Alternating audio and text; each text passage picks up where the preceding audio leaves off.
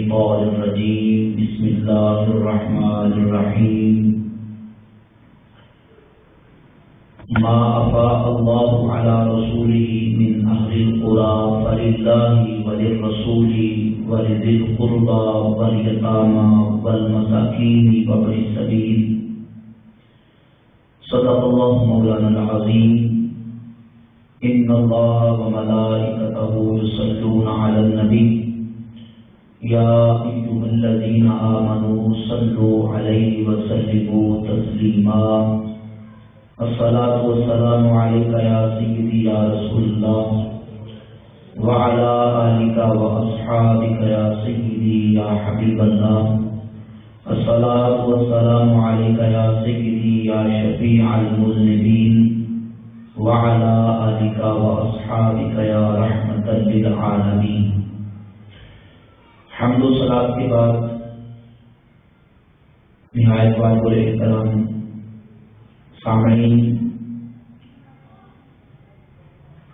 आज के हमारे दर्स का मौजू और उन्वान है।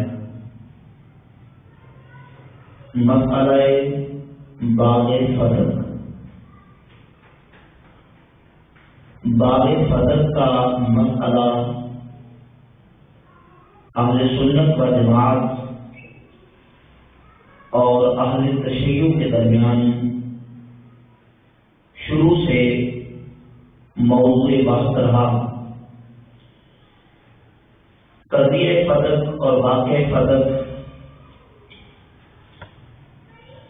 इस कदिये का पेश आना एक हकीकत है, लेकिन उस हकीकत को एक अफसानवी और जंगो जदल की सूरत बनाकर पेश किया जाता है, जिसमें बेसरोपा किस्से, कहानियाँ और ऐसी मन गढ़ और झूठी बातें शामिल की जाती हैं।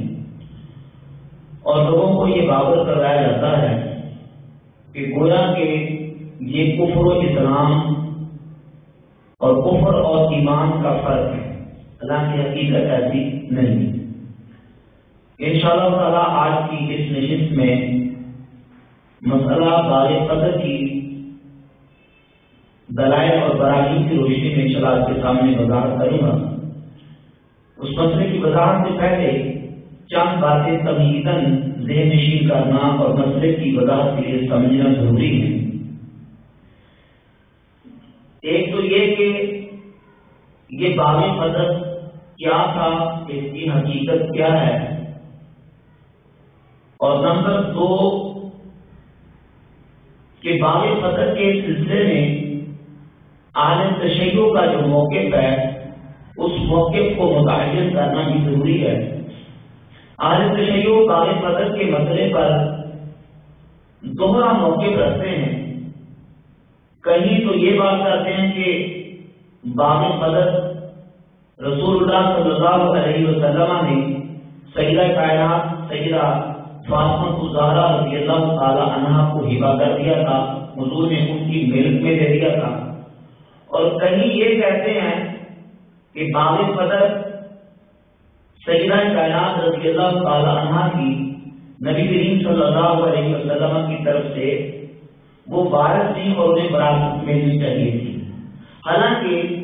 ये एक ही मसले पर दो तरह के मौके हैं।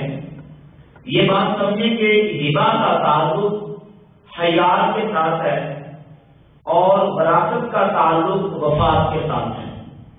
यानी हिबा इंसान अपनी जाहरी दुनियावी हयात में करता है और वरासत मुताबिक होती है वफात के साथ।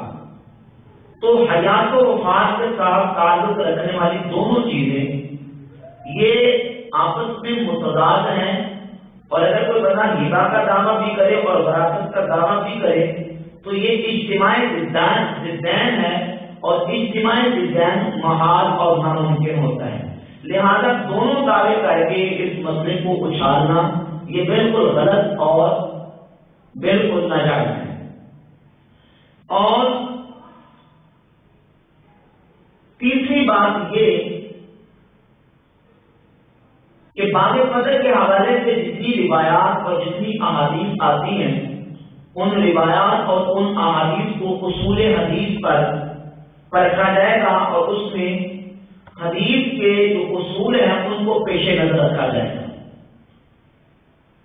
और वो उसूल और दावते हमारे पेश नज़र रहने चाहिए। और अगली बात ये कि इस हवाले से कोई भी रिवायत और हदीस आती है तो किसी किताब में रिवायत और हदीस का आ जाना काफ़ी नहीं है, बल्कि उस रिवायत का सही होना ज़रूरी है।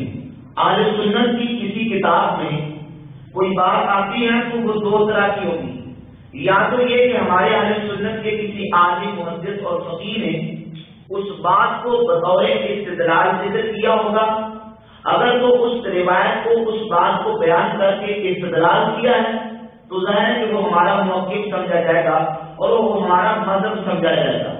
और अगर हमारे आलिम ने उस बात को बयान करके उससे इस्तलाल नहीं किया, बल्कि उसको रिवायतन ज़िक्र किया, जिस तरह के मुहदसिन का तरीका है तो मुहदस का किसी बात को रिवायत कर देना उसके सही होने के लिए काफ़ी नहीं है। जब तक कि उसके मतन और उसकी सनद को नाम देख लिया जाए। अगर उसकी सनद और उसका मतन मुकम्मल जवाबत और शराय के मुताबिक है तो उस बात को कबूल किया जाएगा। और अगर उसकी मतन और सनद जवाबे से उसूल हदीस के मुताबिक नहीं तो फिर इसको कबूल नहीं किया जाएगा। तो इन चंद बातों का जहाज़ करते हुए इंशाल्लाह बागी फजर के इस मसले को कुरान हदीस और अहल सुन्नत और अहल तशैयों की मोतबर और मुस्नद किताबों के हवाले से इंशाल्लाह उसकी वजाहत करेंगे। तो सरे ये समझना ज़रूरी है कि बाग फजर है क्या था और इसकी हैसियत क्या है।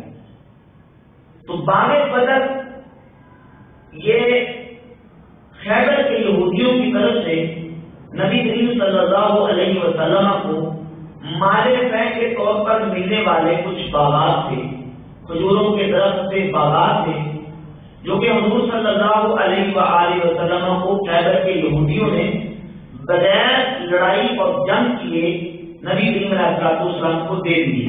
तो जो मुसलमानों को, मुसलमान, हुक्मरान को कुफार के साथ लड़ाई करके जो माल मिले, उसको माले गनीमत कहते हैं।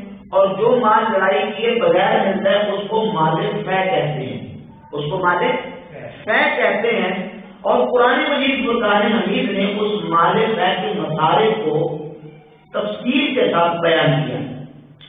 अल्लाह रबुल्जत ने सूरह हशर की आयत नंबर छह, सात, आठ, नौ और दस में मालिक फै के मसारे को बयान किया और इरशाद फरमाया, माँ अफा अल्लाह अला रसूल मिनहुम जो अल्लाह ने अपने रसूल को उनमें से मालिक से अता किया, फमा और जब तुम खैर वाला पर तुमने उन पर घोड़े और ऊँट नहीं दौड़ाए, वलाकिन अल्लाह रुसुलहु लेकिन अल्लाह अपने रसूलों को, अपने रसूलों को काबू में ले लेता है, उनके कब्जे में ले लेता है जो चाहता है वल्लाशीन कबीर और अल्लाह हर शय पर हर चाहत पर काबिल है। अल्लाह रसूल जो अल्लाह ने बस्ती वालों में से अपने रसूल को मारे में अता किया।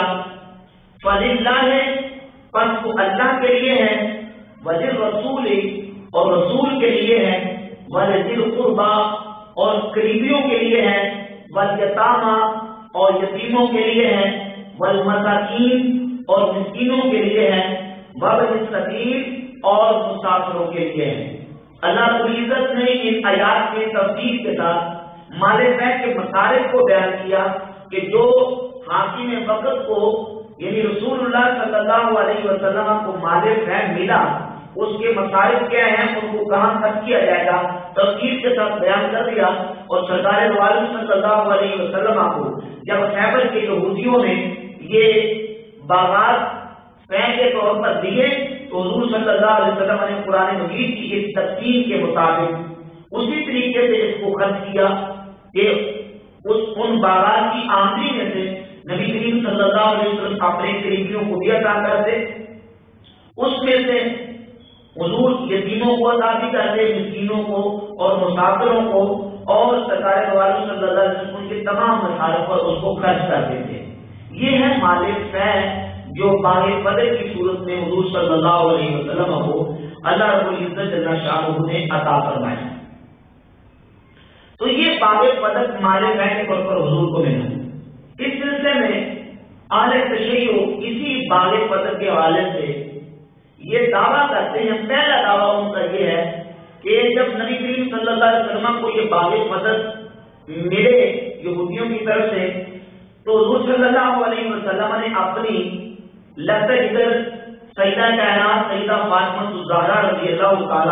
को ये बात बतौर गिफ्ट हदिये के तौर पर हिबा कर दिए थे।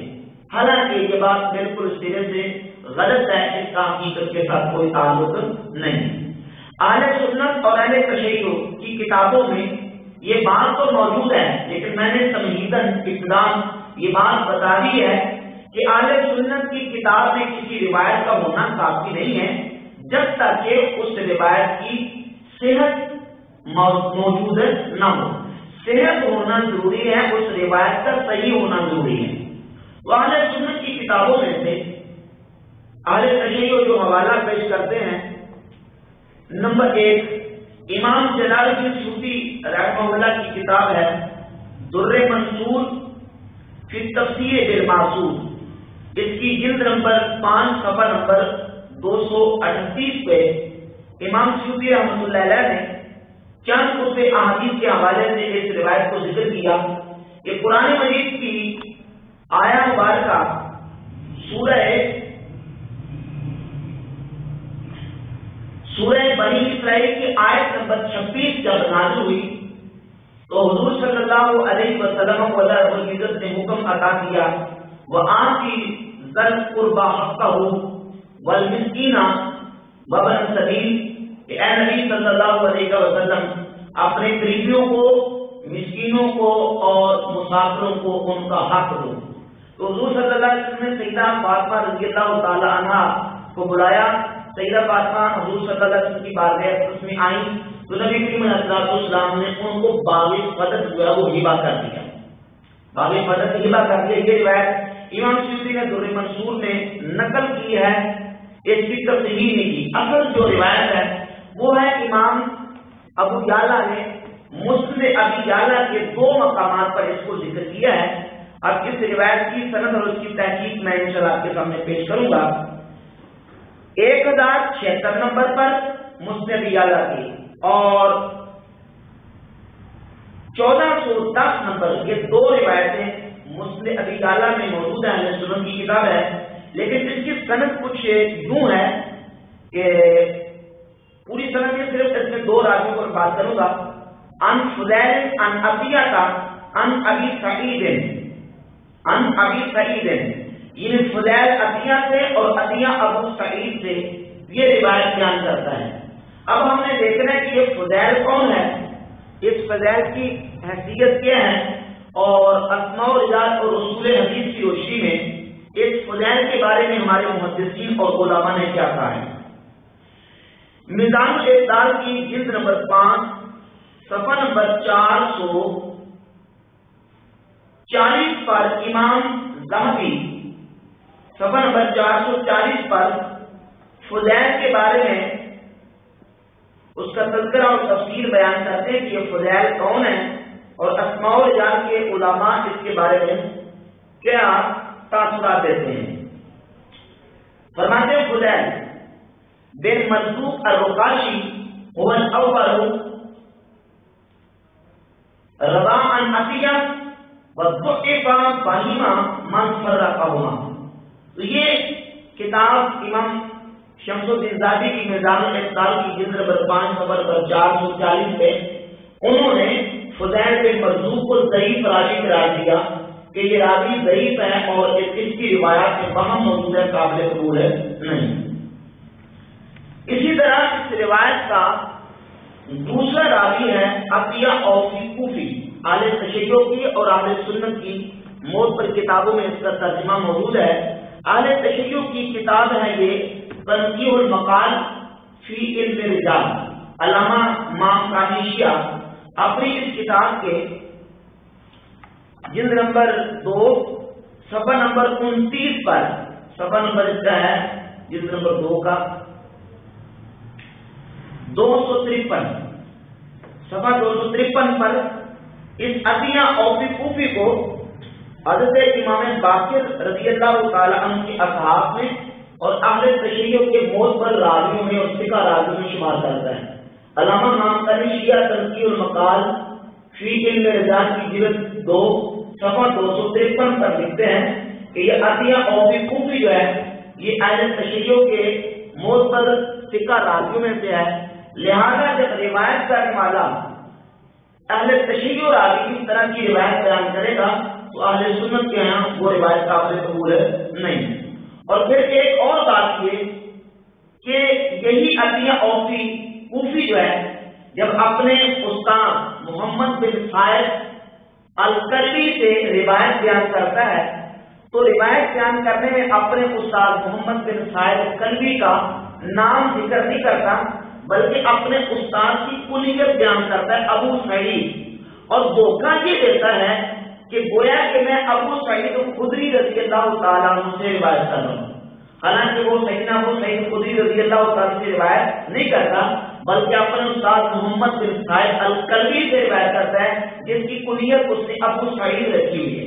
तो लिहाजा वो धोखा सही से और फराड करके ये रिवायत बयान करता है। इस बात को इमाम जहबी ने इसी किताब मैदान साल की जिल्द नंबर पाँच, सफ़ा नंबर सौ और एक सौ एक पे बयान किया है कि अतिया बिन सईद अल औफी अल कूफी वकल अहमद बलगनी अन्ना अतिया का कान जअतिल कल्बी फयाकुल अनहु तफसीर ये अतिया औफी जो है ये कलबी के पास जाता था उससे तफसीर लेता था वकाना युकन्नी पे अभी सईद और उस अदिया जो अबू सईद जो है वो उसका कुलियत कलबी की बयान करता था अपने उस्ताद की, मोहम्मद बिन साहिब कलबी की। तो इस तरह ये एक समझे के बात करके तो उससे इस तरह रिवायतें ले सकते हैं। लिहाजा अतिया औफी की रिवायत इसके मोहम्मद बिन साहिब कलबी रावी है। जिसकी रिवायत आल सुनन के नाम पर नहीं इमाम बुखारी ने अपनी किताब किताब दुआफा की, सफ़ा नंबर तीन सौ तीन पर अतिया औफी के बारे में लिखा है कि ये जो अतिया सफ़ा तीन सौ तीन। ये देखिएगा। मोहम्मद बिन असायद के बारे में। मोहम्मद बिन असायद अबू नसर अलकलबी मतरूकुल हदीस कूफियन ये जरा यहाँ निकले इमाम बुखारी ने अपनी किताब किताब दुआफा तरीक सलीम के साथ ही छपी है अदुआफा तो उसमें सफ़ा नंबर तीन सौ तीन पे लिखा है कि ये मोहम्मद बिन सायद कल्बी जो है ये मजरूकुल हदीस है जिसकी हदीस को इमाम बुखारी बुखारी कबूल नहीं करते। और इसी तरह इमाम बदरुद्दीन ऐनी ने उमदतुल कारी, शहर सही बुखारी की जिल्द नंबर पंद्रह सफ़ा नंबर अट्ठाईस पर ये बाग पदर की हिबा वाली रिवायत के बारे में अपना तबसरा लिखा है, हाजा ला असल लहू वला यस्कुतु बिही रिवायत अन्नहा इज़्ज़हत ज़ालिका व इन्नमा हुवा अमरुन मुस्तहिल ला यस्कुतु। इमाम बदरुद्दीन ऐनी लिखते हैं कि ये जो बागे फतेह के हिबा वाली रिवायत बयान की जाती है और इसको पेश करके ये साबित किया जाता है कि ये सईदा कायनात रज़ी अल्लाह को हिबा कर दिया जाता ये बिल्कुल बेअसल रिवायत है इसका कोई सबूत नहीं। और इसी बात को इमाम साहबी ने मिजान इकदाल की जिल्द नंबर पाँच सफ़ा नंबर एक सौ चौसठ पे बयान किया है। और लिखते हैं कि ये जो रिवायत है, वह आज दल कुर्बा हक का हो। दहा रसूल फातिमा था। आसा फदक जब ये आयत नाजिल हुई तो नबी करीम सल्लल्लाहु अलैहि वसल्लम ने सईदा फातिमा को बुलाया। और उनको फदक की बात कर दिया कुल तो हाला बात फरमाते हैं कि ये बात, ये रिवायत बातिल है, ये रिवायत काबिल कबूल है नहीं। अहले सुन्नत के जो मोतबर और मुस्तरद मुहद्दिसीन हैं, उन्होंने भी इस रिवायत को काबिल कबूल नहीं समझा और इस रिवायत को रिजेक्ट किया है। लिहाजा बावे पदक की हिबा वाली जो रिवायत है, वो अहले सुनम के आम काबिल कबूल नहीं। है तो अहले तशीयों का ये दावा करना कि फदक नबी करीम सल्लल्लाहु अलैहि वसल्लम ने सईदा कायनात को हिबा कर दिया था। ना ये नकलम दुरुस्त है यानी रिवायत के एतबार से, और ना ही दरायतन, यानी अकलन दुरुस्त है। क्यों उसकी एक बड़ी और बेर वजह ये कि सरकार सल्लल्लाहु अलैहि वसल्लम ने अपनी अहले बैत के लिए अपने अहले बैत के फकर को इख्तियार और पसंद किया था। और इसका एक बहुत मशहूर वाक्य सुन्नत और अहले तशीयों की किताबों में मारूफ है, जलाउल में मुला बाबू मजलसी ने ज़िक्र किया और अहले सुन्नत की किताबों में भी मौजूद है कि सईदा कायनात रज़ी अल्लाह तआला नबी करीम सल्लल्लाहु अलैहि वसल्लम की बारगाह अक़दस में गई और जाके हुजूर सल्लल्लाहु की बारगाह अक़दस में अर्ज़ की या मुझे कोई लौंडी या कोई गुलाम अता फरमा दे। तो हुजूर सल्लल्लाहु अलैहि वसल्लम ने लौंडी या गुलाम उनको हिबा करने से देने से इनकार कर दिया। और नबी करीम सल्लल्लाहु अलैहि वसल्लम ने कहा कि तुझे ऐसी तस्बीह ना बताऊँ कि तू अगर वो तस्वीर पढ़ा करे तो तेरी थकावट गुजर जाए।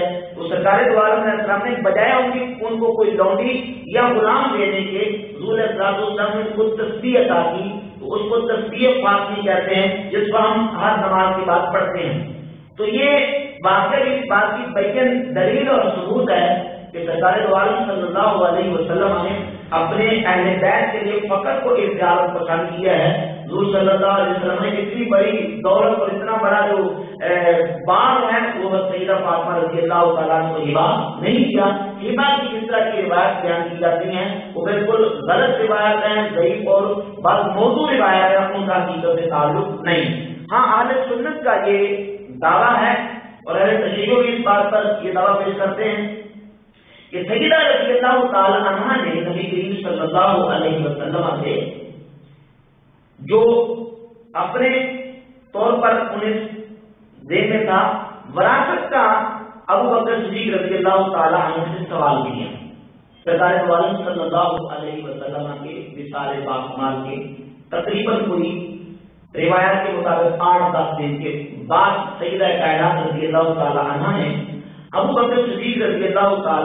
से वरासत का मुतालबा किया कि जो मेरे वालिद गिरामी कदर नबी करीम सल्लल्लाहु का जो माल था हुजूर के तसरुफ में और हुजूर के कब्जे में, मुझे वो वरासत दी गए और ये सवाल सिर्फ़ सैदा फातिमा रज़ी अल्लाह तआला ने नहीं किया, बल्कि ये सवाल सही बुखारी की रिवायत के मुताबिक और दीगर कुछ ज़ाहिर थे ये मुतालबा और ये सवाल उम्मा मोमिनीन, अजवाज रसूल रज़ी अल्लाह तला ने भी इरादा किया सवाल करने का। लेकिन जिस तरह उन्होंने सवाल करने का इरादा किया और उन्हें जवाब मिला, जो जवाब अजवाज तजबात को मिला, वही जवाब सईदा फातमा रज़ी अल्लाह तला को मिला। अब इस मसले पर पुराने मजीद और हदीस तजबात से वो दलायल इंशाल्लाह मैं पेश करूँगा कि आया कि अंबिया अलैहिस्सलाम तस्लीमात की वरासत होती है या नहीं? आहले सुन्नत और अहले तशैयो की मोतबर और मुस्तरद किताबों में ये बात मौजूद है कि अंबिया अलैहिस्सलाम तस्लीमात की वरासत नहीं होती। यानी अंबिया अपनी वरासत में वरासत माली, यानी माल छोड़कर नहीं जाते। अम्बिया तस्लीमात के बाद उनकी औलाद और उनके पैरोकार, वो नबियों के इलम के बारस होते हैं। नबियों का बाल एज जो मार्च है, वो एज ए वरासत उम्मत में या उनके जो करीबी हैं, उनमें मुंतकिल नहीं होता। ये हमारा दावा है। और अहले तशीयो इसके जो जाकिरीन और उनके मौलवी वो तो इसके खिलाफ जाते हैं, अपनी किताबों को पूरे हुए और इस पर वो कुरान मजीद से वो आयात बयान करते हैं जिन आयात में वरासत का मुदरकन ज़िक्र है और उनके मुखातब के हवाले से कुरान मजीद में इजमाल मौजूद है। मिसाल के तौर पर, सूरह निसा की आयत नंबर ग्यारह। अल्लाह रब्बुल इज़्ज़त ने इरशाद फरमाया औलादिकुम लिज़्ज़करि मिस्लु हज़्ज़िल अल्लाह रब्बुल इज़्ज़त तुम्हें हुक्म देता है तुम्हारी औलाद के बारे में कि मर्द को औरत के मुकाबले में दो गुना माल का हुक्म देता है।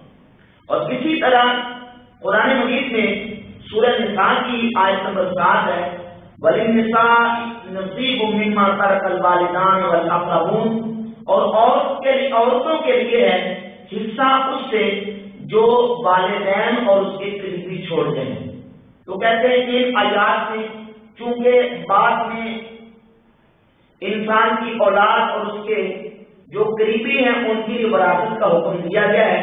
लिहाजा मालूम हुआ कि सैदा कैनात रज़ी अल्लाह भी नबी करीम सल्लल्लाहु अलैहि वसल्लम के माल की बारिश बनती है। हालाँकि इस पर मुताद जवाब पेश किए जा सकते हैं। उनमें से एक जवाब तो ये कि कुरान मजीद की इन आयात का हुक्म किन को है? इसके मुखातब कौन है? कुरान में इसकी तफसील मौजूद नहीं। इसकी तफसील हम जब तलाश करते हैं तो मैं आल सुनत की कोई किताब नहीं पढ़ूँगा, बल्कि आल तशीयों की मोतबर और मुस्तन किताब है अल मिनल काफ़ी।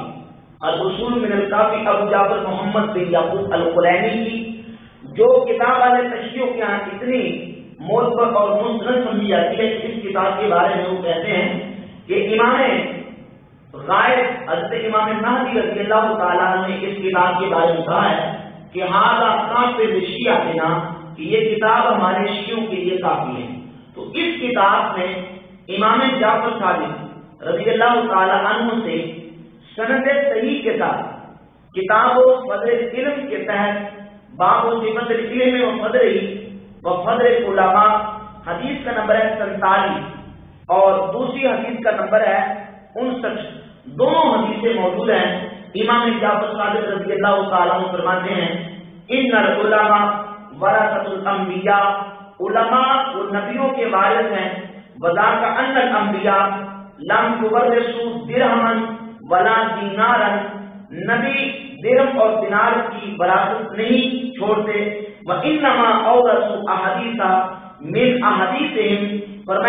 अपनी वरासत में अपनी अहदीस छोड़ जाते हैं। फमन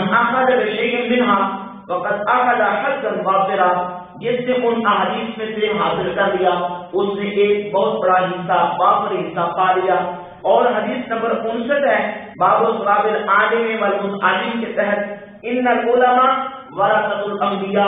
उलमा अंबिया के वारिस हैं। इन अंबिया लम युबरसु दीनारम वला दिरहमा। नबी अपनी वरासत में दिनार और दिरहम नहीं छोड़ते, वलाकिन वरसुल इल्मा। लेकिन वो इल्म छोड़ते हैं। फमन आकल में आकल हद वापर जिसने उससे अकल किया, यानी इल्म हासिल किया, उसने एक मुताद जो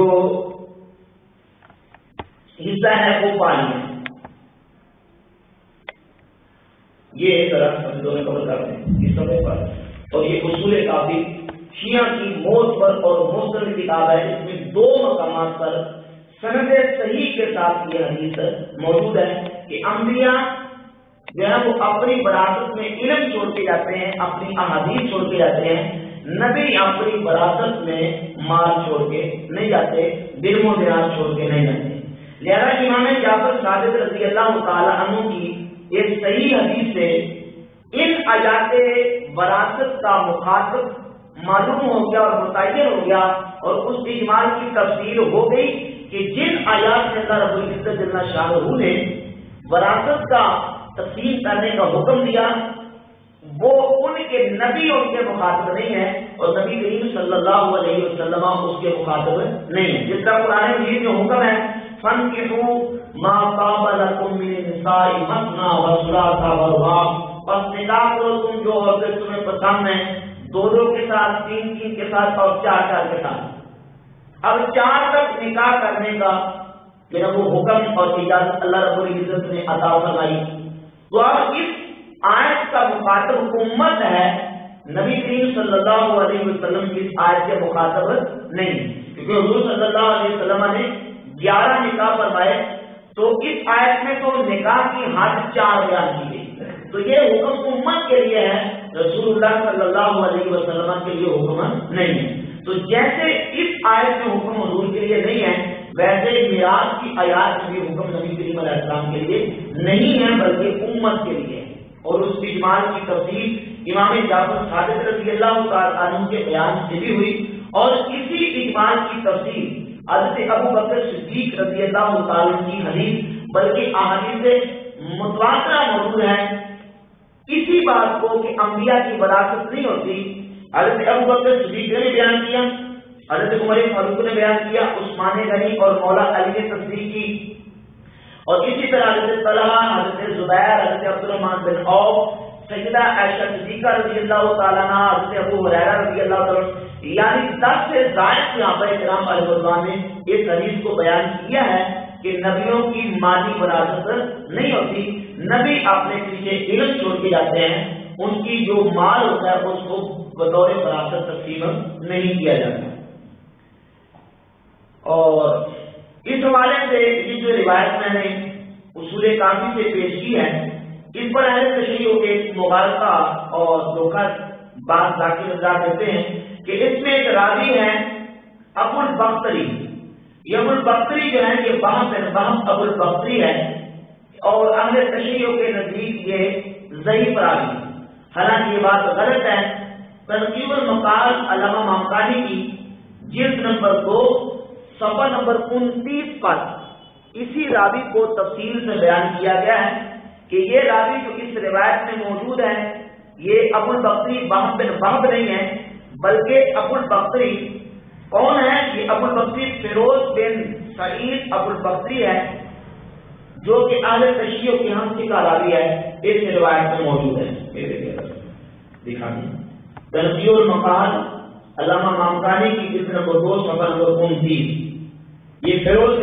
अबुल बकरी है, जिसको अलामा ममकारी ने सिका सबक रावी करार दिया है। लिहाजा आल तशरीयों के यहाँ भी ये रवायत मुतबर है और आल सुन्नत के यहाँ भी अम्बिया की माली विरासत न होने वाली रवायत रवायत जो है वो हदीस मुतवातर है और पुराने मरीज़ फुरकान हमीद की उन जो आयात की इमाल की तफसील को बयान करती है। और इस पर यह भी एक बात जो वो समझना ज़रूरी है चाहे तशरीयों के यहाँ खुद इन आयात में कुछ अशकाश को उन्होंने खास किया है। उसूल काफ़ी क्रूए काफ़ी और उनकी दीगर जो किताबें उनमें वो रिवायत मौजूद है कि ना काफिर मुस्लिम। जो काफिर है, वो मुसलमान का वारिस नहीं बनेगा, हालाँकि उन आयात में जो वो आम बयान किया गया और शिया इन जो अशरात को खास समझते हैं। पूरे काफ़ी में नाम कातिल अगर कातिल अपने बाप को कत्ल कर देता है तो वो बराबर नहीं पाता। और इसी तरह दीगर और लोग भी हैं जिनको इन आयात से अल तशरीयों के यहाँ मखसूस समझा जाता है। तो जिस तरह भाई दूसरे लोगों को तो मखसूस समझते हो इसी तरह अम्बिया तस्लीमात भी इन आयात वरासत से वो खास है, उनके लिए हुक्म नहीं। और साथ ही इस मसले पर काफ़ी में एक रिवायत मौजूद है बारिश का अली रसूल सल्लल्लाहु अलैहि वसल्लम। कि हज़रत अली रज़ी अल्लाह तआला नबी के इल्म के वारिस बने, व वारिस फातिमा का हज़रत फातिमा रज़ी अल्लाह तआला नबी करीम के की वारिस बने। तो तशरीयों के सिर्फ़ हुजूर सल्लल्लाहु अलैहि वसल्लम की सईदा फातिमा है। हालाँकि कुरान की उन आयात वरासत की रोशनी में जो बीवियाँ होती हैं, वो भी तरजे की बारिश बनती हैं। जबकि है तशरीय हजूर सल्लल्लाहु की बीवियों को बारिश तस्लीम नहीं करते। तो कुरान की आयात में तो मुतलक और आम है, और जब अहले तशैयो भी उस आम को खास और उस मुतलब को मुकैद समझते हैं। तो जब इस हुक्म को मुकैद समझते हैं और खास समझते हैं तो बरह सुनत भी अहादिस मुतवातरा की रोशनी में उस हुक्म को में से अम्बिया तस्लीमात को खास करते हैं। तो लिहाजा आयात बरासत के यह साबित करना कि अम्बिया की बरासत माजी होती है, ये दुरुस्त नहीं अब इस सिलसिले में दो चीज़ों को अम्बिया तस्लीमात के बारे में तशीयो कुरान मजीद की दो आयात बयान करते हैं। उनमें से एक आयत सूरह नमल की आयत नंबर सोलह।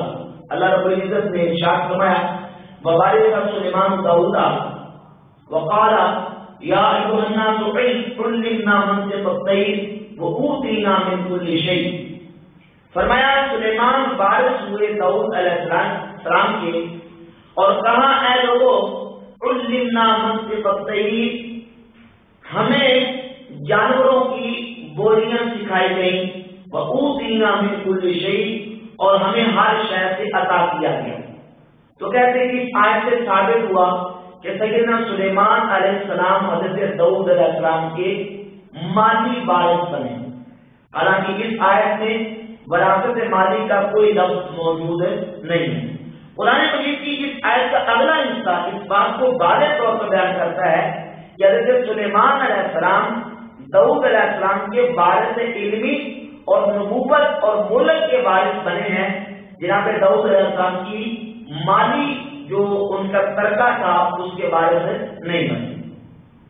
हज़रत दाऊद अलैहिस्सलाम अल्लाह के पैगंबर, वो अपने हाथ से लोहे की जीरा बनाते थे और अपना गुजर औकात और अपनी जो मैशत उनकी थी, अपनी ज़िंदगी गुजारने का उनके पास जो ज़रिया था, वो अपने हाथ के साथ जीरा बना के बेचते थे।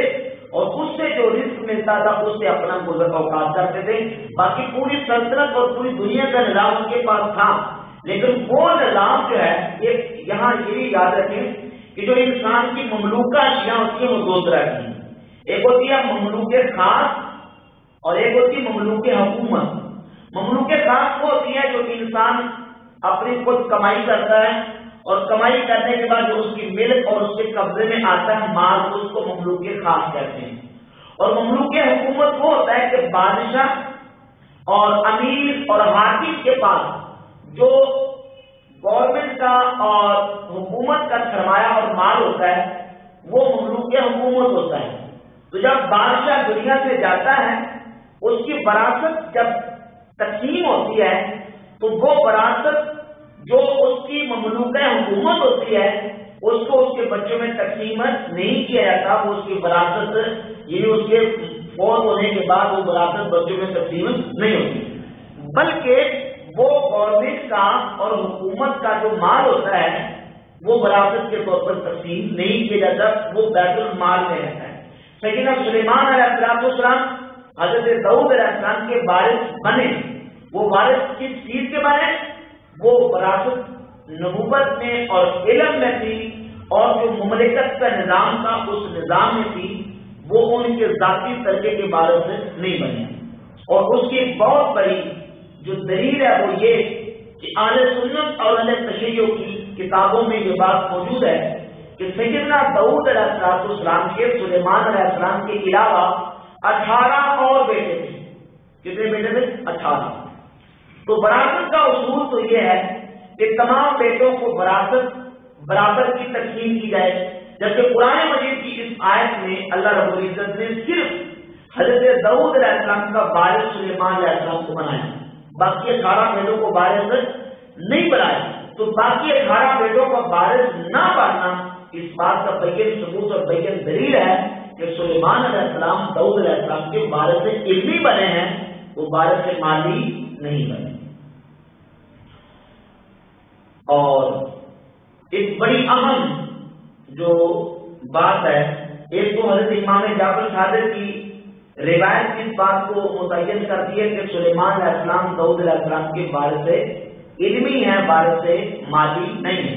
और दूसरी जो इस सिलसिले में अहम हवाला उसूल काफ़ी की जिल्द नंबर एक, सफ़र नंबर एक सौ अठारह से।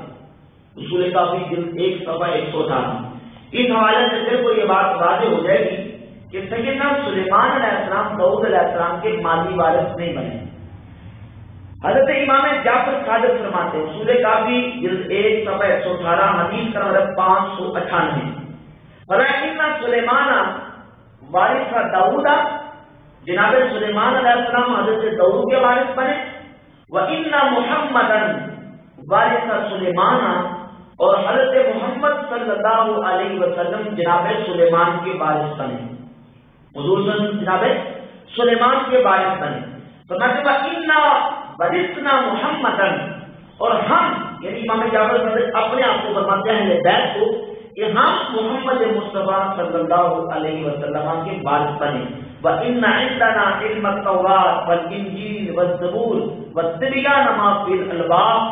हमारे पास तौरात का इल्म है, इंजील का इल्म है, जबूर का इल्म है, और जो कुछ अलवा में बयान किया गया उस सब का इल्म है। इस रिवायत से ये बात वादी हो गई। अब आप मेरे सवाल का जवाब दें।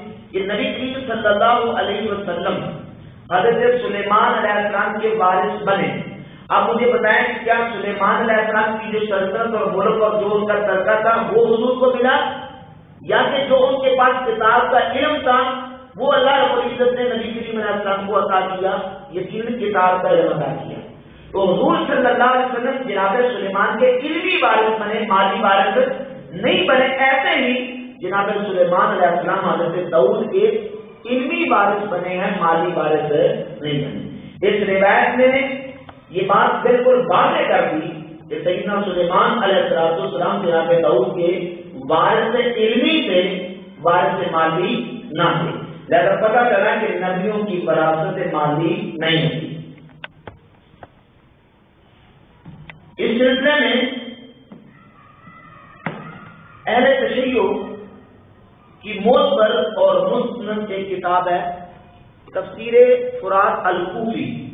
तफसीर फुरात अलकूफी के सफ़ा नंबर बयासी पर, मौला कहना अली मुस्तशर खुदा रज़ी अल्लाह ने नबी करीम सल्लल्लाहु अलैहि वसल्लम से अर्ज़ की या रसूलुल्लाह सल्लल्लाहु अलैहि वसल्लम, आरिसु मिलका या रसूलुल्लाह सल्लल्लाहु अलैहि वसल्लम अल्लाह के रसूल, क्या मैं आपके विशाल के बाद आपका बारिश बनूँगा?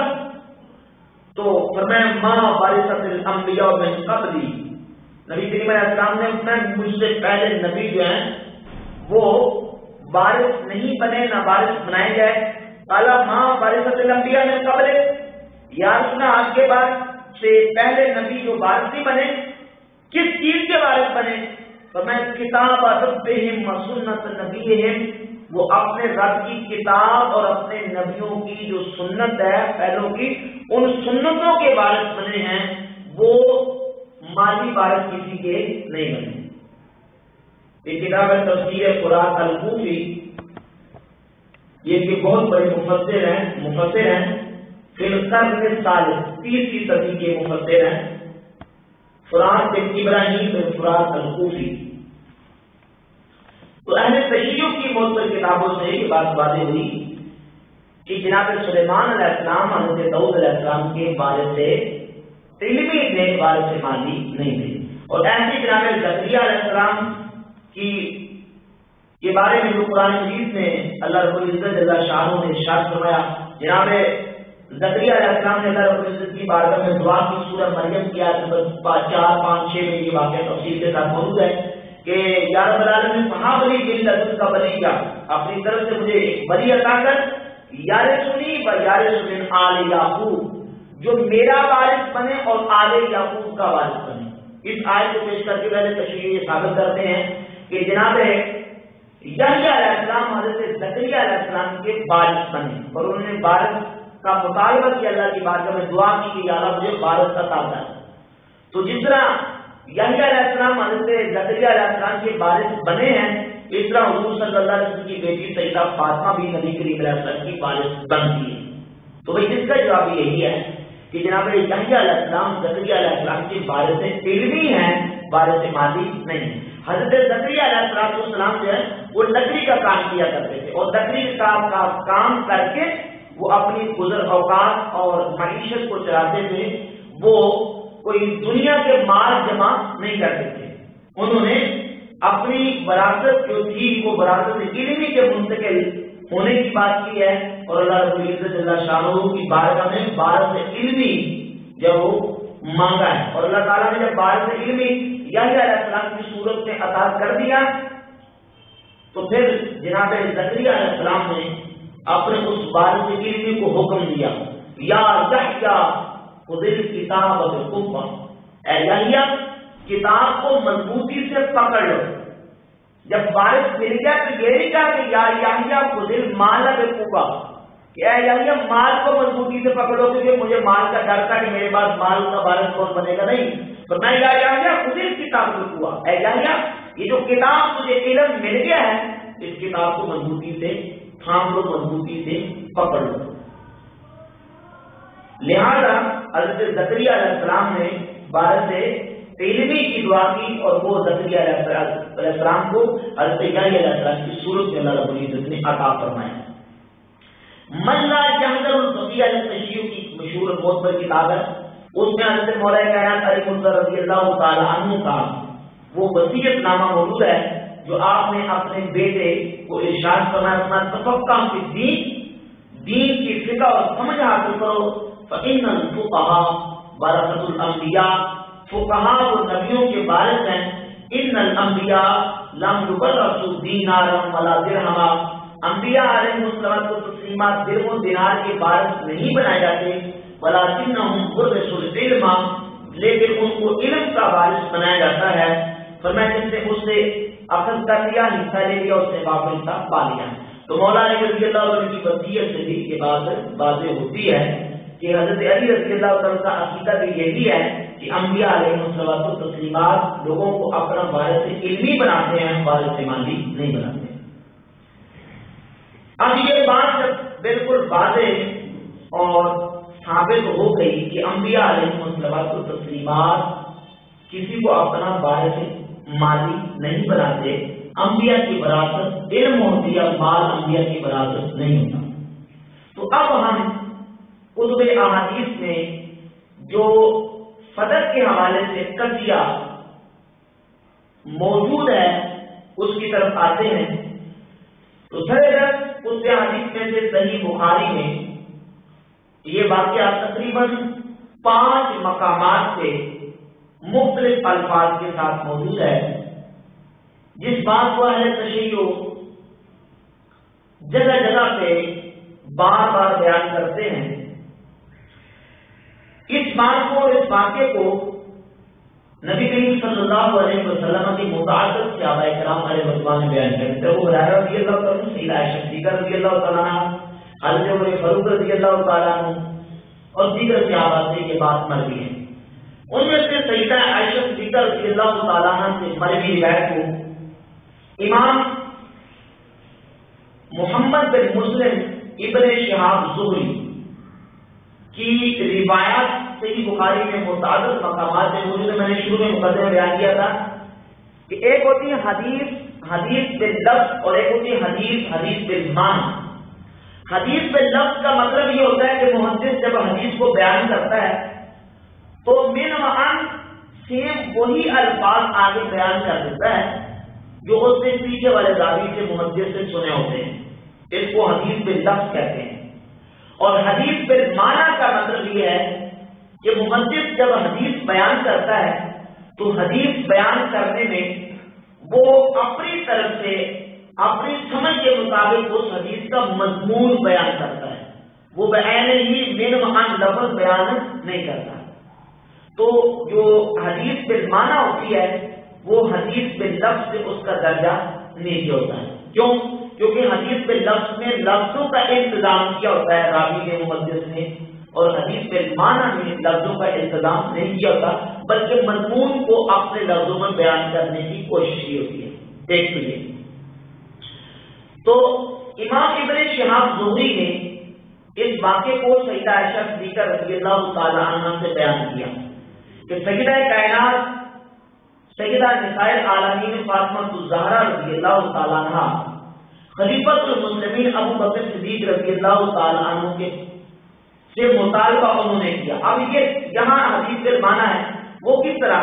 हदीस फिर माना इस तरह के सही बुखारी में मकाम पे ये मौजूद है कि अन्ना इन्ना फातिमा का बल अब्बास आतया हज़रत फातिमा और हज़रत अब्बास अबू बकर सदीक के पास आए। यह सही बुखारी की हदीस नंबर छह हज़ार सात सौ पच्चीस है। और सही बुखारी में ही ये अल्फाज मौजूद है, इन्ना फातिमा का अरसलत इला अबी बकर। कि सईदा फातिमा ने अबू बकर के पास किसी को भेजा। खुद नहीं गई, बल्कि किसी को भेजा। और ये बुखारी की हदीस नंबर चार हज़ार दो सौ चालीस, तीन हज़ार सात सौ ग्यारह पर मौजूद है। एक में क्या है कि सईदा फातिमा और हज़रत अब्बास खुद गए। और दूसरी रिवायत चार हज़ार दो सौ चालीस और तीन हज़ार सात सौ ग्यारह में है, इन्ना फातिमा का अलग किला अभी बकर खुद नहीं गई, बल्कि उन्होंने किसी को हज़रत अबू बकर सदी के पास भेजा। हदीस के ये अल्फाज और एक दूसरी दलील से ये बात मुतन होती है कि सैदा फातिमा रज़ी अबू बकर सदी के पास खुद नहीं गई।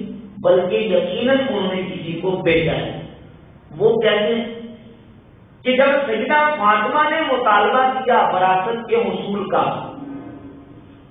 ऐसे ही अजवाज तयबात ने भी अबू बकर सदीक से वरासत का मुतालबा किया। तो सही बुखारी की हदीस नंबर छह हज़ार सात सौ तीस में ये बात मौजूद है। आठ साल अजवाज नबी सल्लल्लाहु अलैहि वसल्लम उस्माना इला अबी बकर।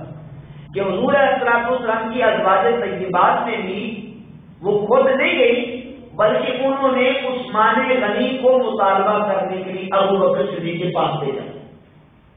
जैसे अजवाज तयबात में वरासत के मुताबे के लिए अबू बकर सिद्दीक के पास उस्मान गनी को भेजा, ऐसे ही सईदा फातमा ने वरासत के मुताबे के लिए खुद नहीं गई, बल्कि उन्होंने करीने क्या किया है कि सैदना अब्बास रज़ी अल्लाह को मुतालबे के लिए भेजा है, खुद अबू बकर सिद्दीक के पास नहीं गई। और इफ्फत और किस्मत सईदा कायनात का तकाजा भी ये है, सईदा रज़ी अल्लाह के पर्दे के जो मसाइल और आपकी इज़्ज़त और इफ्फत का जो मकान है तो इसका तकाजा भी ये है कि वो दुनिया की मालो दौलत के लिए खुद अबू बकर सदी के पास नहीं गई, बल्कि उन्होंने मुतालबे के लिए किसी को भेजा है। अब यहाँ ये बात भी समझ लें कि जाहिरी ने इस बात को इस अंदाज से उछाला और इस तरह वो जलसों में महफलों में बयान करते हैं। कहते हैं कि सैदा कायनात खलीफा के दरबार में गए क्या कहते हैं दरबार में गए हालाँकि दरबार का उस वक्त कोई तस्वर मौजूद नहीं था। सैदना बकर सिद्दीक रज़ी अल्लाह जो खिलाफत के उमूर और फैसले निपटाने के लिए मस्जिद नबी शरीफ में बैठते थे।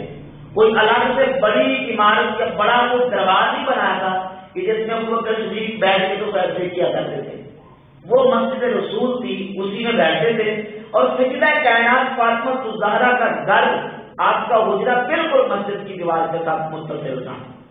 तो सजदा रज़ी अल्लाह के बारे में इस तरह का जो ना वो वाक्य करना कि वो जनाब दरबार में गई और दरबार में जब गई तो अबू बकर सदीक ने माजला उनके साथ तो क्या कुछ करके इस तरह की झूठी बातें बयान करते हैं जिसका हकीकत से कोई ताल्लुक नहीं? है तो ये सही बुखारी की रिवायतें बताती हैं कि आज फलक फातिमा, सईदा फातिमा ने किसी को भेजा है वो खुद अबू बकर सदी के पास नहीं तो जिस तरह अजवाज तयबात को अबू बकर सदी की तरफ़ से जवाब मिल गया और सईदा ऐसा ने जवाब दिया, हदीस सुना के, इसी तरह अबू बकर सदीक रज़ी अल्लाह ने सईदा कायनात फातमत रज़ी अल्लाह को जवाब दिया, जो कि तफसील के साथ सही बुखारी की हदीस नंबर चार हज़ार दो सौ चालीस पर मौजूद है। मैं आपके सामने वो बयान करता हूँ।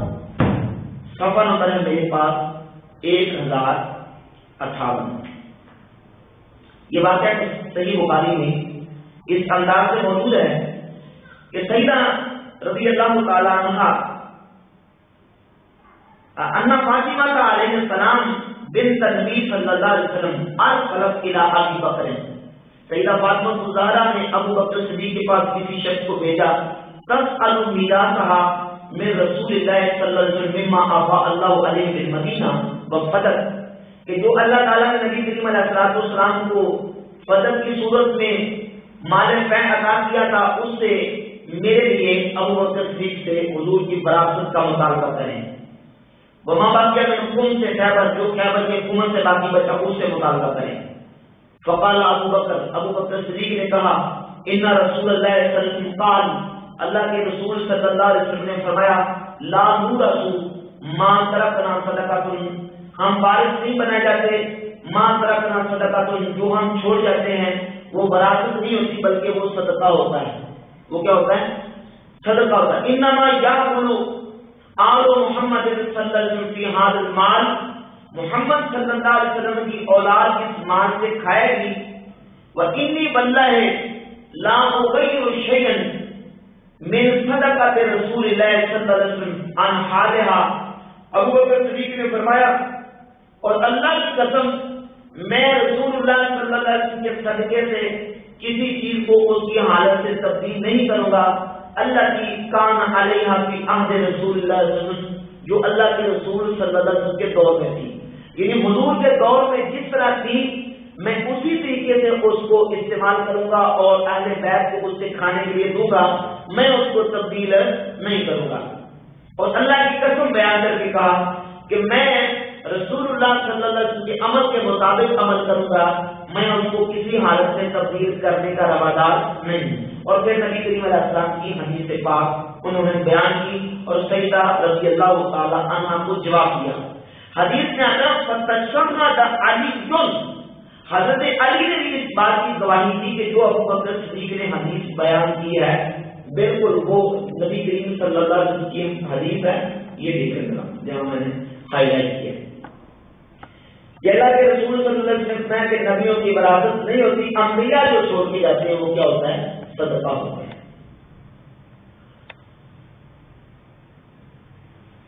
तो सैयदना अबू बकर सिद्दीक रज़ी अल्लाह तआला ने सैयदा आयशा सैयदा फातिमा ज़हरा रज़ी अल्लाह अन्हा को जवाब भी दिया और साथ ये भी फरमाया, बंदा है, लकराबत रसूलुल्लाह सल्लल्लाहु अलैहि वसल्लम, अहब्बु इलैया अन असिला बिल कराबती फरमाया, मुझे अल्लाह की कसम है, मुझे अपने बाल बच्चों और अपनी कराबत से सल्लल्लाहु की कराबत ज़्यादा महबूब है।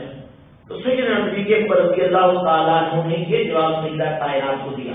अब ये रिवायत सही बुखारी में आई और सही बुखारी के मुताबिक दूसरे मकामात पे जो रिवायत आई, इनमें जो मेन इशू उठाया जाता है, वो ये है कि जब अबू बकर ने जवाब दिया गनीमत फातिमा।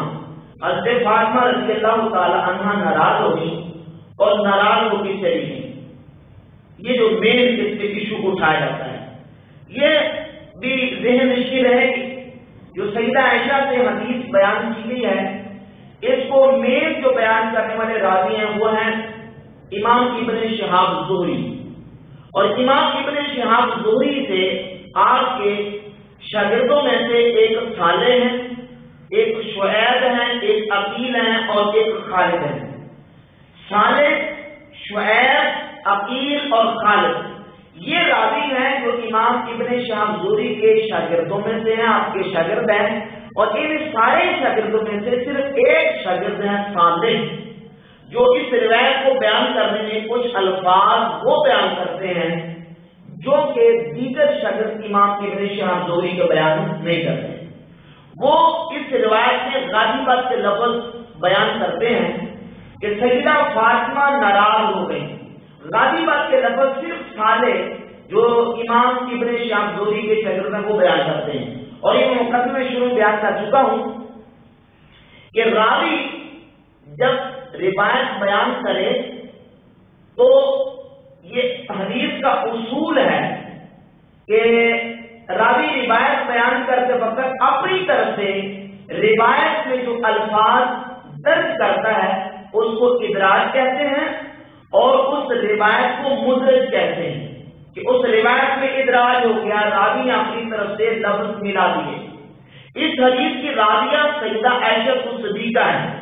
अरबी एतबार से अगर ये अल्फाज सईदा ऐशा ने बयान किए हों तो लफ्ज आना चाहिए कालत ये सैदा आयशा फरमाती हैं, जो कि मुन्नस का सीधा है, रिवायत में लफ्ज होते हैं काला।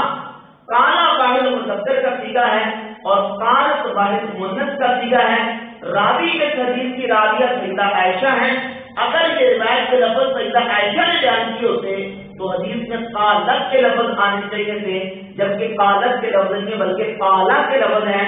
इससे बात होता है कि इस रिवायत में जो गालिबत के और हाजा रख के लफ्ज हैं, वो सईदा आयशा के बयान करता नहीं है, बल्कि काला के बाद जो जुमला है, वो साले इमाम इबन शहाब जोरी के मुदरजात में से है। लिहाजा वो जो राज़ी का मुद्रज, जो इदराज करता जुमला है वो मुहदसिन के यहाँ इस सूरत में जो अकल नकल के खिलाफ है, वो काबिल कबूल है? नहीं। तो ये इमाम इबन जोरी के और इबन जोरी के खुद मुदराजात में से जो लफ्ज हैं, उनको हमारे आलिम सुन्नत कबूल नहीं करते और उसकी तरबीब करते हैं, उसका रद्द करते हैं। और फिर ये भी बात याद रहे कि हदीस में जो आया कि नबी करीम सल्लल्लाहु अलैहि वसल्लम ने फरमाया, जिसने फातिमा को नाराज़ किया। मन अब दबा अब दबा नहीं। जिसने फातिमा को नाराज़ किया, उसने मुझे नाराज़ किया। उसमें लफ्ज मुजर्रद से नहीं है, बल्कि मजीद सीधे है। गालिबा यगदबू या गादाबा यगदबू के लफ्ज जो है मुजर्रद से, इसका माना होता है गजब नाफ या नाराज़ होना। जब इसको मजीद पर ले जाए तो इसका है आप दबा युग गदाब यानी किसी को खुद कष्ट नाराज़ करना गजब नाफ करना तो हदीस में अपना मन अब दबा अब दबानी जिससे फातिमा को खुद कष्ट नाराज़ किया, उसने मुझे नाराज़ किया, और अबू बकर सिद्दीक रज़ी अल्लाह तआला अन्हु ने सैयदा फातिमा को कष्ट नाराज़ नहीं किया। कष्ट नाराज़ नहीं किया। बल्कि हदीस में आता गालिबत वो खुद नाराज़ हो गई। अब अगर गालिबत के लफ्ज को देखकर जाकिरीन और तशैय इस बात को उठाएँ और इशू बनाएँ कि सईदा रज़ी अल्लाह नाराज़ होगी लिहाजा ऐसे को इस्लाम का मसला बन गया। तो अब इसी बात को आले तशैय की बहुत बड़ी किताबों से मैं दिखाऊँगा। तो अब आल तशीर इस पर क्या जवाब देंगे? आल तशीर की बहुत सारी किताबों में से जलाउल हमारे पास किताब मौजूद है मुला बाकर मजरसी की। इसके सफ़ा नंबर 230 पर और सफ़ा नंबर 260 और इकसठ पर और मुतद और मकाम पर भी मुला बाकर मजरसी ने वो रिवायात बयान की हैं कि जिन रिवायात का मकान और उसका जो नतीजा है वो ये निकलता है कि सैदा कायनात रज़ी अल्लाह की हज़रत अली के साथ शकरंजी हुई, आपस में घर में एक तनाजा हुआ। और सैदा कायनात रज़ी अल्लाह तहा की आपस में सैदा मौला अली के साथ नाराज़गी हुई। मैं सिर्फ़ लफ्ज पढ़ूँगा मुला बाकर मजलिसी ने वो रिवायत और वाक्यात बयान किए हैं अपनी किताब के सफ़र नंबर दो सौ साठ पे। कहता है कि बस गमे फातमा शदीद शुद्ध सैदा फातमा का गम शदीद हो गया। व दर्द तफक्र मान का शब्द शुद्ध फ़िक्र में थी कि रात हो गई। तू शब दर आमद, इमाम हसन रा पर दोष रात। व जनाब इमाम हुसैन रा पर दोष गिरफ्त तो सैदा ने रात के वक्त इमाम हसन को दाएँ और इमाम हुसैन को बाएँ कंधे पर बिठाया। व दस, उम्मे कुलसूम रहा दस रात खुद और सैदा उम्मे कुलसूम का दाया हाथ अपने हाथ में लिया। वह हुजरा किदरे कुदरत और अपने बाल में ग्रामी रसूलुल्लाह सल्लल्लाहु अलैहि वसल्लम की हुजरा से निकल गई और सरकार सल्लल्लाहु अलैहि वसल्लम की मुजरा में सरकार की घर में चढ़ी। अब ये वाक्य मुल्ला बाकर मजलसी अपनी किताब से में पेश करता है। और फिर सारा वाक्य बयान किया कि सैदा रज़ी अल्लाह तआला की मौलाना के साथ नाराज़गी हुई। और फिर अबू बकर सिद्दीक, उमर फारूक और तलहा और सहाबा को बुलाया गया और सरकार ने सहाबा की मौजूदगी में फरमाया पस हर के पूरा आधार बुलंद मुरा आज़ाद करदा हज जिसने फातमा को नाराज़ किया, उसने मुझे नाराज़ किया। वह हर के पूरा आज़ाद तुरंत बाल अल्फात मन चुना हज के पूरा आज़ाद करदा हज कर हयात मन। फरमाया, जिसने मेरी हयात में फातिमा को नाराज़ किया, उसने मुझे मेरी हयात में नाराज़ किया और जिसने मेरी वफात के बाद फातिमा को नाराज़ किया, उसने मुझे वफात के बाद नाराज़ किया। ये सारा वाक्य मौला बाबर जी ने जलाल में ज़िक्र किया। तो अगर सैदा फातिमा रज़ी अल्लाह का नाराज़ हो जाना, अबू बकर सिद्दीक रज़ी अल्लाह के लिए एतराज़ और उन पर तनकीद का सबब है तो आज तशीजों फिर यहाँ क्या जवाब देंगे? जो कि मुल्ला बाकर मदरसी ने वाक्य बयान किया। और इसी तरह इंतज़ाम की मशहूर किताब है। उसमें भी इस तरह के वाक्यात को अलामत तबसी अल तशीयों के मोड पर आदि ने ज़िक्र किया है। सफ़र नंबर दो सौ अस्सी एहतजाज तबसी की जिल्द नंबर एक है कि यबना भी तारीफ़ की समस्त शमलत जनीन वकात का हज़रत जनीन ये देखें। मैं इसका तर्जमा नहीं करूँगा सिर्फ़ इतना ही कहूँगा कि उसने नाराज़गी के वाक्य बयान किए। हैं और इस तरह मुला बाबर मस्जिद ने मुकदर वाक्य बयान किए हैं। लिहाजा ये बतकालत बशरीत अगर कोई ऐसा मामला हुआ है तो उससे वो कुफर इस्लाम का फ़र्क नहीं पड़ता, बल्कि इससे सैदना अबू बकर सदीक रज़ी अल्लाह का अगला जो वाक्य है, वो अबू बकर सदीक क्या है बैठे तहार के साथ मोहब्बत का मुँह बोलता सबूत है कि सैदना अबू बकर सिद्दीक रज़ी अल्लाह तआला सजदा कायनात फातिमा जहरा रज़ी अल्लाह तआला की घर गए आपके दरवाजे पे खड़े हो गए। दस्तक दी मौला रज़ी अल्लाह तआला से अंदर आने की इजाज़त तलब की। हज़रत अली ने सैदा फातिमा जहरा से अबू बकर सिद्दीक के लिए इजाज़त दी। सैदा फातिमा ने इजाज़त दी। अबू बकर सिद्दीक रज़ी अल्लाह ने सईदा फातिमा के साथ मुलाकात की और उनके साथ सारी बात करने के बाद सईदा कायनात फातिमा रज़ी अल्लाह इस बात पर रजामंद होगी जो अबू बकर सिद्दीक ने उनके साथ कमिटमेंट और उनके साथ जो गुफ्तु की है। इस बात का सबूत आल तशरीयों की और आल सुनत की मौत पर और मुस्लिम किताबों में मौजूद है। उसमें से मैं चंद हवाला जात आपके सामने पेश करूँगा इंशाल्लाह और इस बात को इसी पर मुकम्मल करेंगे। ये किताब है आल तशीयों की मोतबल किताब है। इबन मैसम बहरानी की किताब शरा नाजुल बलागा। इसकी जिल्द नंबर पाँच मेरे पास है और जिल्द नंबर पाँच का सफ़र नंबर एक सौ सात है।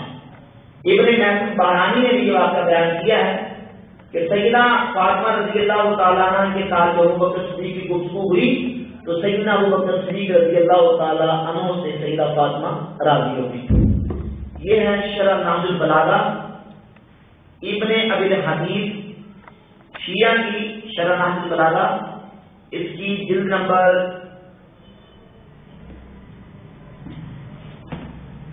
पंद्रह और सोलह में वाकत मौजूद है। दो सौ सोलह। ये 216 सफे पे ये पूरा वाक्य मौजूद है कि सैयद अबू बकर सिद्दीक ने सैदा से बात की तो हज़रत फातिमा गुजारा रज़ी अल्लाह तआला बकर सिद्दीक से राज़ी हो गई। इस तरह सुन्नत की, मौत और मुस्लिम किताबों में दलाल नबुआ इमाम बहकी की जिल्द नंबर सात, सफ़ा नंबर दो सौ इक्कीस पर है कि अबू बकर सिद्दीक रज़ी अल्लाह तआला ने इजाज़त तलब की फाजिनत लहू। सैदा कायनात ने इजाज़त दी अबू बकर आपके पास आए आपको राज़ी किया वकाल और कहा मा तरफ़ दारा, वल माला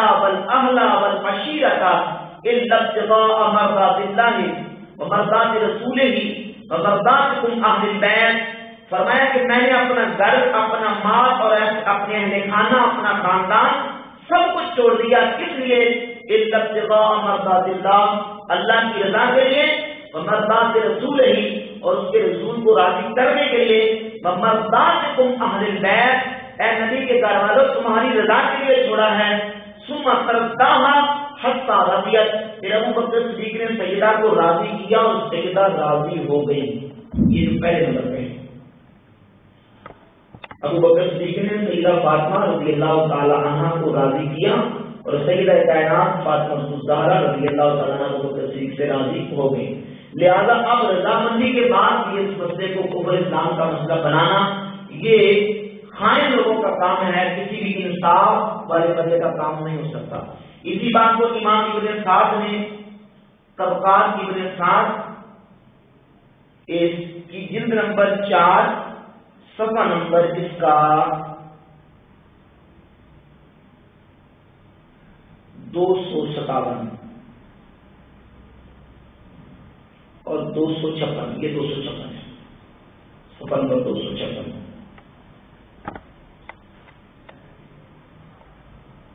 और इसी बात को हमारे यहाँ सुनन की मशहूर किताब है सियो अलाम नुबला।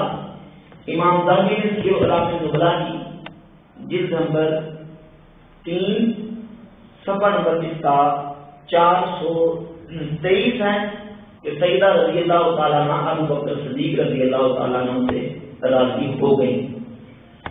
लिहाजा ये जो बातें बयान की जाती है कि सईदा कायनात रज़ी अल्लाह अबू बकर सदीक के साथ नाराज़ होती है और बोल चाल खत्म कर दिया, ये सब बातें गलत है इसका हकीकत से ताल्लुक नहीं है, बल्कि सईदा अबू बकर सदीक रज़ी अल्लाह खुद आपके घर गए और घर जाके इस मसले पर राज़ी कर लिया और फिर रजामंदी ऐसी हुई कि आपसे रजामंद हो गई और अबू बकर अल्लाह ने सईदा कायनात रज़ी अल्लाह तआला पर जनाजा भी पढ़ाया। इमाम ने हदीस को बयान किया है। की जिल्द 4 सफ़ा 257 पे सल्ला अलैहा अबू बकर अल्लाह अल्लाह अबू बकर सिद्दीक ने ही सईदा कायनात, फातिमा ज़हरा रज़ी अल्लाह तआला अन्हा का जनाजा भी पढ़ाया है। ये आखिरी आखिरी नीचे वाला। और यह है कृषियों की किताब है,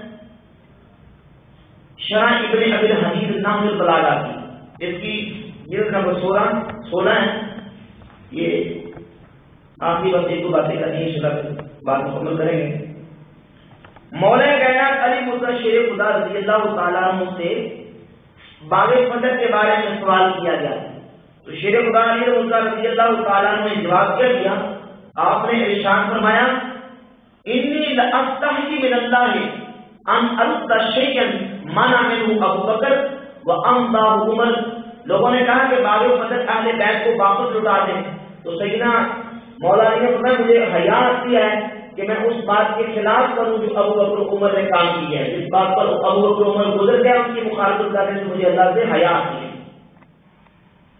हज़रत इमाम जैद शहीद रहमतुल्लाह से जब किसी बारे में बात की गई तो आपने फरमाया बल्ला है लो रजा अमर इलैया लकदई तो फ़ी हमें पदाए अभी बकर मैं, मुझे अल्लाह की कसम है, अगर मुझे खलीफा बना दिया जाता तो मैं भी वही फैसला करता जो फैसला अबू बकर सिद्दीक रज़ी अल्लाह तआला ने किया। और इसी तरह इमाम बाकिर से किसी ने कहा कि क्या हले बैत पर बागे बदर के हवाले से जुल्म हुआ? तो इमाम बाकिर ने ला, वल्लजी अंजल कुरान अला अब्दिही लियकून लिलआलमीन नज़ीरा। तो मैं उस जात की कसम जिसने अपने बंदे पर कुरान नाजिल किया, लियकून लिलआलमीन नज़ीरा, ताकि तमाम जहानों की दर सुनाने वाले हो जाएँ। हमारे ऊपर राई के दाने के बराबर भी जुल्म नहीं किया गया। अबू बकर के फैसले को नबी करीम सल्लल्लाहु की तमाम आले तस्लीम किया, कबूल किया और इसी पर रजामंदी का इजहार किया लिहाजा ये कहना कि सईदा रज़ी अल्लाह तआला अबू बकर सिद्दीक रज़ी अल्लाह तआला से मिली नहीं, मुलाकात नहीं की। और उन्होंने बोलना जाना छोड़ दिया बिल्कुल सही गलत है। ये किसी रावी की गलती तो हो सकती है, लेकिन किसी सही हदीस की बात नहीं है। और इस पर एक ज़बरदस्त आखिरी बात करके मैं बात मुकम्मल करूँगा, हवाला पेश करूँगा। मुस्लिम इमाम अहमद बिन हम्बल ने इमाम अहमद बिन हम्बल रहमतुल्लाह ने अपनी सन के साथ इस हदीस को बयान किया। मुझसे इमाम अहमद नंबर जिल्द नंबर एक सफ़ा नंबर चार सौ दो और चार सौ तीन पर हदीस है। कि सईदा कायनात सईदा फातिमा रज़ी अल्लाह तआला अबू बकर सदीक से मिली और मिल के अबू बकर सदीक को यह हदीस जान की कि अल्लाह के रसूल सल्लल्लाहु अलैहि वसल्लम ने फरमाया था कि ए फातिमा, तू सबसे पहले मेरे साथ मुलाकात करेगी। तो फातिमा सुजारा रज़ी अल्लाह तआला का अबू बकर से मिलना और ये हदीस बयान करना, ये बिल्कुल रजामंदी और आपस में उनके ताल्लुक की बैयत, दलील और सबूत है। लिहाजा जो वाकया और किस्से कहानी बयान की जाती हैं, वो बिल्कुल गलत है।